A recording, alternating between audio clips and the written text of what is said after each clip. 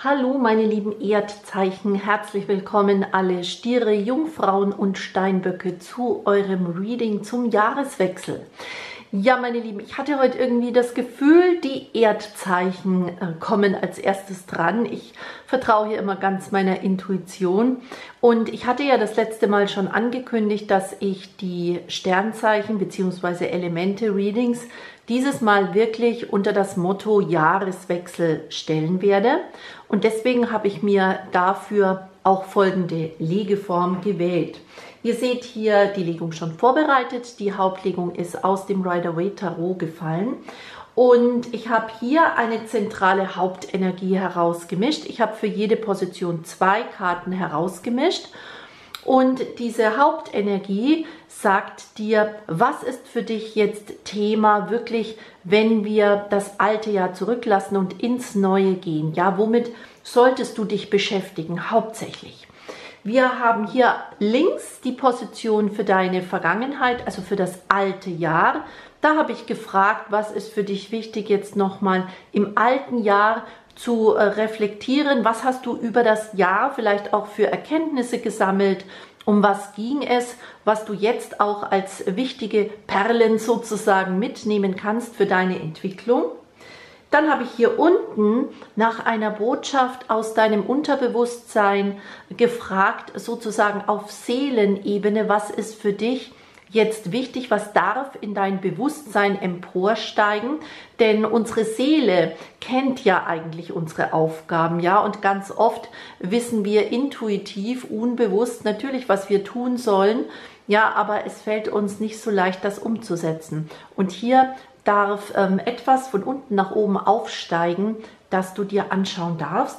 Dann haben wir auf dieser Position einen kleinen Ausblick schon mal in die erste Zeit des neuen Jahres. Was könnte da so Hauptthema sein? Und hier oben bitte ich wie immer um einen Rat der geistigen Welt. Ich habe gefragt, was möchte dir die göttliche Führung denn heute mitteilen? Was ist für dich jetzt wichtig? Außerdem habe ich hier für euch noch eine Botschaft aus dem Deck The Map, Weisheitskarten der Seele, passend hier zum Unterbewusstsein. Und wir haben noch eine Zusatzkarte. Ich habe es ein bisschen ausführlicher jetzt diese Jahreswechsel-Readings gemacht. Und zwar aus dem wunderschönen Deck Das Blumen der Engel Orakel gibt es noch einen Schlusspunkt sozusagen. Ja, meine Lieben, wie immer bei den allgemeinen Readings, bitte fühle in dich hinein, ob du mit den Botschaften in Resonanz gehst. Das kann natürlich sein, dass du ähm, dich vielleicht mit deinem Aszendenten oder deinem Mondzeichen besser identifizieren kannst, wenn das Zeichen einer anderen Elementegruppe entspricht.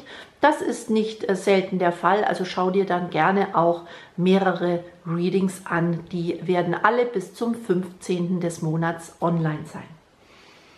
Liebe Erzzeichen, ihr habt meine Lieblingskarte als erste Karte empfangen. Ich habe gefragt, was ist für dich jetzt Hauptthema im Moment und zum Jahreswechsel? Und da fallen die wundervollen neun Münzen. Ja, die meisten wissen, dass das meine Lieblingskarte im Tarot ist, weil sie einfach so eine wunderschöne Energie hat, wie ich finde. Sie zeigt eine Frau, die mit sich und ihrem Leben vollkommen im Reinen ist. Ja, das ist im Übrigen auch die Single-Karte des Decks. Also es ist gut denkbar, dass du dich vielleicht noch in einer Beziehung befindest und äh, über eine Trennung nachdenkst. Dann sagt die Karte, das wäre nicht die schlechteste Idee. Aber möglicherweise bist du auch ohne Partner oder Partnerin und du wirst dich mehr und mehr in deine Kraft als Single hineinentwickeln. Denn diese Frau ist wirklich zufrieden mit sich und ihrem Leben. Ja, die ist angebunden an die Natur, an die Tierwelt. Die hat hier ihre Münzen um sich herum aufgereiht. Die sorgt bestens für sich selbst. So, und jetzt kommt eine interessante Karte, nämlich zur Klärung fielen die zwei Münzen. Ich nehme hier wahr, dass deine Energie vielleicht noch ein bisschen schwankend ist, ja, dass du auf der einen Seite eigentlich in diese Energie hier kommen möchtest, da sehnst du dich hin, aber gleichzeitig gibt es vielleicht für dich in deinem Leben noch so die ein oder andere Baustelle, die es nicht immer so leicht macht, dich so zu fühlen. Ja, möglicherweise steckst du auch in einem Konflikt, ob du dich trennen sollst, aus einer Beziehung lösen sollst. Ja, denn, und jetzt komme ich mal zur Vergangenheit, denn das passt sehr gut hierzu. Ich zeige euch gleich die beiden Karten. Hier haben wir nämlich den Ritter der Schwerter und die sechs Stäbe. Das ist die Siegeskarte im Tarot, die steht auch für Selbstvertrauen, für Entscheidungen, die wir für uns treffen. Ja, du siehst hier diesen Herold, der den Sieg einfährt.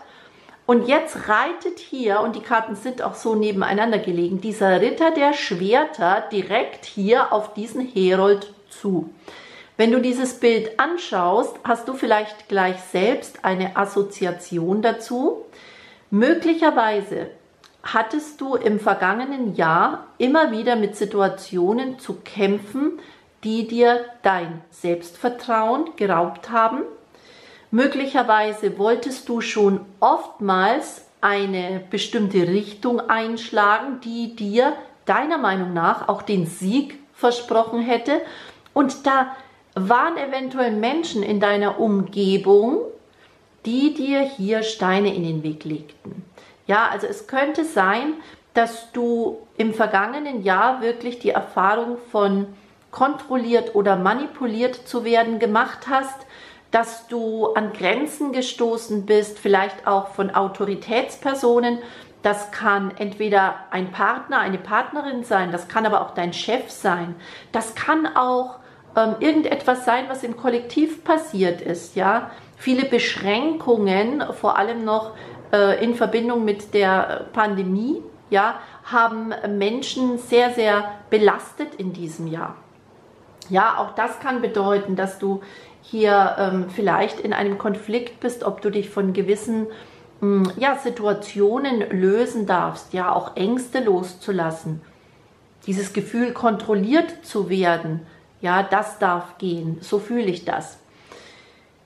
Was ich auch spüre, ist, dass du dich vielleicht äh, aus einer Situation befreien wolltest und da kam immer wieder irgendetwas dazwischen oder es gab jemanden, der dir hier das Leben schwer gemacht hat.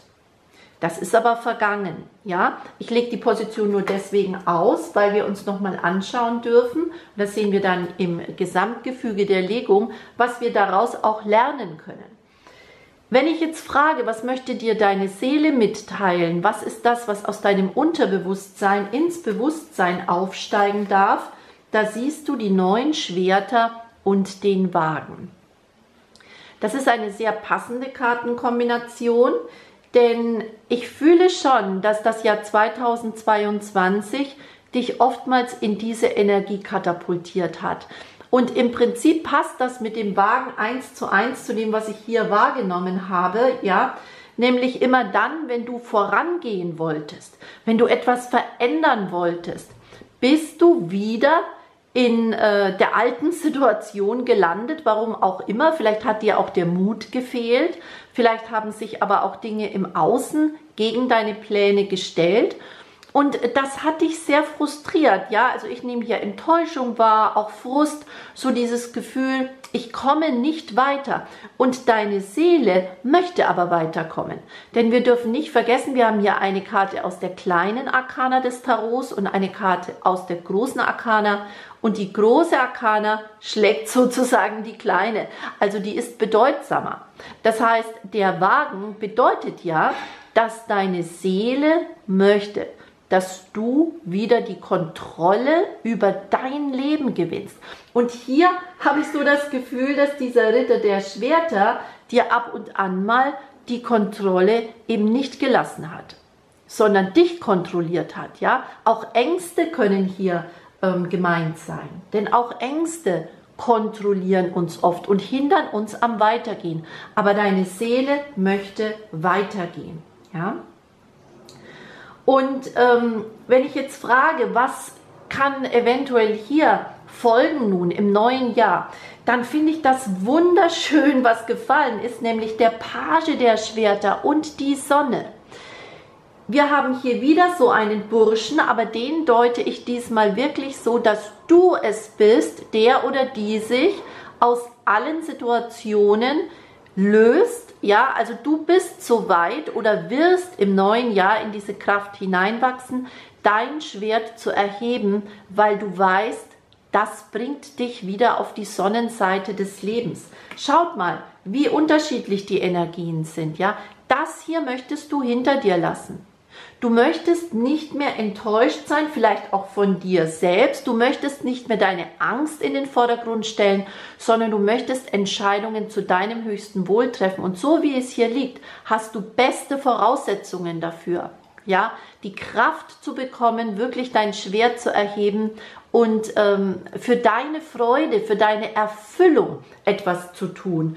Denn wenn wir das mal äh, hier zu der Gesamtenergie nochmal betrachten, ja, das ist ja das, was von dir eigentlich gelebt werden möchte.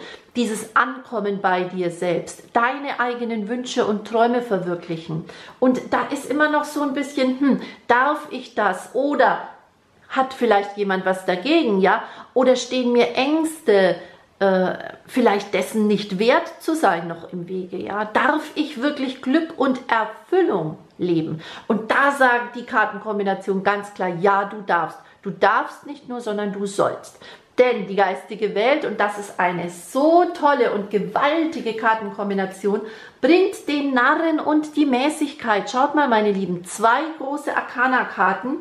Wir haben also mit die besten Arcana-Karten im ganzen Deck hier in der Legung. Wagen, Sonne, Narr und Mäßigkeit. Die geistige Welt sagt, wage den Sprung ins Unbekannte. Du bist dabei beschützt. Die Mäßigkeit als dein Schutzengel. Ich nehme ja die Mäßigkeit auch immer so wahr, dass sich hier vielleicht ein liebevoller äh, Mensch bei dir meldet, der schon äh, verstorben ist, eine liebevolle Seele, ja, die dich in der kommenden Zeit jetzt über den Jahreswechsel ermutigen möchte, Neuland zu betreten. Ähm, unsere lieben Verstorbenen, die wollen unser Bestes, ja, die führen uns, die möchten, dass wir äh, mutig unserem Herzen folgen und vor allem auch für uns einstehen. Schaut mal, wie schön an der Unterseite des Decks als Gesamtenergie liegen die sieben Stäbe. Das ist eine Karte, die sagt, verteidige dich. Steh für dich ein, für das, was du möchtest, ja, dass dieser Ritter der Schwerter hier wirklich keine Chance hat. Stand your ground, ja. Trete für das, was dich erfüllt, was dich auf die Sonnenseite des Lebens bringt, ein. Steh dafür ein und verteidige das, was dir wichtig ist, was dir wertvoll ist. Ja, und ich habe jetzt aus dem Deck The Map, Weisheitskarten der Seele, eine Karte herausgemischt mit der Frage, was möchte deine Seele vielleicht jetzt auch im nächsten Jahr angehen? Was ist wichtig für dich bei deiner seelischen Weiterentwicklung? Ja, und da fiel die Karte Vorankommen. Meine Lieben, schaut mal, der wunderschöne Strauß. Und wie gut bitte passt das zum Wagen, aber nicht nur zum Wagen, sondern auch zum Narren. Denn der Narr kommt ebenfalls voran. Ja? Was mir hier noch ähm, so in den Sinn gekommen ist bei diesem Vorankommen, mach den ersten Schritt und vertraue dann auch auf die Unterstützung der geistigen Welt. Nicht umsonst ist hier die Mäßigkeit gefallen, ja? Wenn wir uns auf einen neuen Weg begeben wollen und sind hier vielleicht manchmal noch so ein bisschen zögerlich, wie das ja hier so in der Gesamtenergie liegt, dann ist es entscheidend, den ersten Schritt zu machen. Ich finde das immer wieder schön. Ich weiß, ich sage es oft, aber ähm, es gibt ja dann doch immer wieder neue Zuhörer und ich finde es einfach so schön, sich vor Augen zu halten. Der erste Schritt, meine Lieben, ist die Hälfte des Weges. Denn oftmals bleiben wir in einer Stagnation und wagen es eben nicht, den ersten Schritt zu machen. Wenn wir den aber tun und es entspricht unserem Seelenplan, ja, so wie das hier deutlich so gefallen ist, ja, also wenn du jetzt schon weißt, vielleicht auch schon die ganze Zeit über weißt, was du tun solltest, um wieder auf die Sonnenseite des Lebens zu gelangen, dann ist es für dich wichtig, den ersten Schritt zu tun, denn dann erhältst du alle Unterstützung der geistigen Welt. Und dann entwickeln sich die Dinge vielleicht in ganz wundervoller Art, wie du es gar nicht vermutet hättest. Ich möchte euch jetzt gerne den Text aus dem Begleitbuch vorlesen, weil ich ihn einfach sehr, sehr inspirierend finde. Diese Karte sagt dir, für dich ist die Zeit des Vorangehens gekommen. Dies ist eine Zeit, in der du einen deutlichen Schub nach vorn erfährst, nachdem du eine Periode des Entsagens hinter dir hast. Du befindest dich in einer Phase des Abenteuers und der Entdeckungen. Vielleicht verspürst du den Drang, eine Reise zu machen, umzuziehen oder dich beruflich zu verändern. Wie dem auch sei, etwas muss für dich anders werden und du spürst geradezu den inneren Zwang voranzugehen. Wonach immer du dich erkundigt hast, du wirst erleben, wie deine Träume Gestalt annehmen und sich Türen, die zuvor für dich verschlossen waren, wie durch Zauberhand zu öffnen beginnen. Voranzukommen ist auch ein mentaler Zustand. Der Nebel hebt sich und du weißt, was zu tun ist. Dies ist keine Zeit für Furchtsamkeit. Löse dich von deiner Angst und gehe voran. Ja, meine Lieben, das ist wieder mal so ein Moment, wo ich wirklich nur äh, meinen Dank nach oben an meine Mannschaft richten kann, denn ähm, dieses Deck hat, wie ihr hier seht, 54 Karten, ja, und dass dann wirklich diese Karte herausspringt, ähm, die so punktgenau zu diesem Reading passt, ja.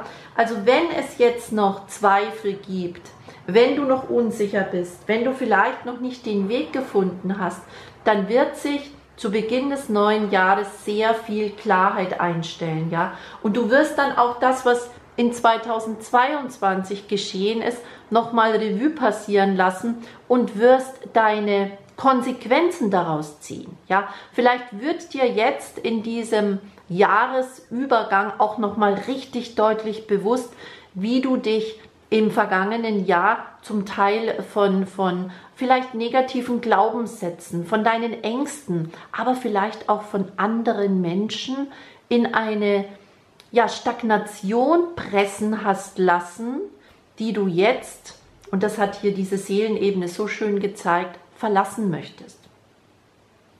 Ja, und zum Schluss habe ich noch eine Botschaft aus den Blumen der Engelorakel für dich.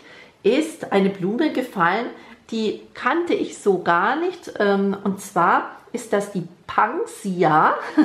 Schaut so ein bisschen aus wie ein Maiskolben. Aber könnt ihr lesen, was hier steht?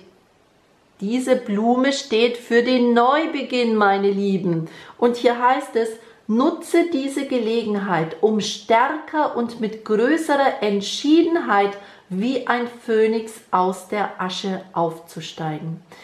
Und da habe ich wirklich Gänsehaut bekommen, denn schaut mal, wie wunderschön passt diese Botschaft zu den beiden Karten.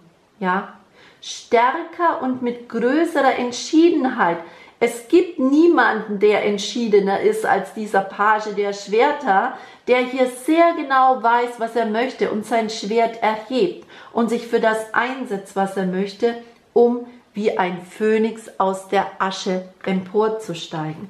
Ja, das Kind hier auf dieser wundervollen Sonnenkarte ist für mich der Phönix aus der Asche. Ja, als wollte dein wahres Selbst geboren werden und ähm, das passt wiederum jetzt natürlich wundervoll hier auch zur Botschaft der geistigen Welt mit dem Narren. Vorankommen, deinen eigenen Neubeginn im Leben wirklich kreieren. Das ist das Motto für euch, meine lieben Erdzeichen, für diesen Jahreswechsel. Und ich bin ganz besonders froh, dass diese Kartenkombination so für euch gefallen ist. Denn ja, mit den Erdzeichen war es in dem Jahr wirklich oft so, dass wir in den Legungen diese Energie der Stagnation hatten, ja. Und jetzt so ein tolles Kartenblatt für euer neues Jahr zu legen, das hat mir große Freude gemacht. Und wenn es euch große Freude gemacht hat, zuzuhören, dann bitte gebt mir einen Daumen hoch, bitte liked dieses Video. Ähm, wenn du noch nicht Abonnent bist, würde ich mich natürlich freuen, dich hier auf unserem Kanal in unserer Heart and Soul Family als Abonnent begrüßen zu dürfen. Und dann aktiviere die Glocke. Es gibt mehrfach in der Woche kostenlose Videos für dich, für deine eigene persönliche Weiterentwicklung. Und ich bin von Herzen dankbar für jeden Kommentar, den ihr mir schreibt. Ja, ich äh, freue mich immer sehr, wenn ihr mitteilt, dass euch die Legung ein bisschen was gebracht hat, geholfen hat. Und ich glaube, mit diesem Reading könnt ihr sehr positiv in den Jahreswechsel gehen. Ja, in diesem Sinne wünsche ich euch, meine lieben Erdzeichen, jetzt noch eine besinnliche Vorweihnachtszeit. Ich hoffe natürlich, wir sehen und hören uns noch in äh, mehreren Readings, bis es dann soweit ist. Deswegen möchte ich euch jetzt eigentlich noch gar nicht schöne Weihnachten und einen guten Rutsch ins neue Jahr wünschen, denn ich hoffe, dass ihr mir vorher noch einmal lauschen wollt. Ich schicke euch einen dicken Drücker aus Mallorca. Die Uli. Tschüss.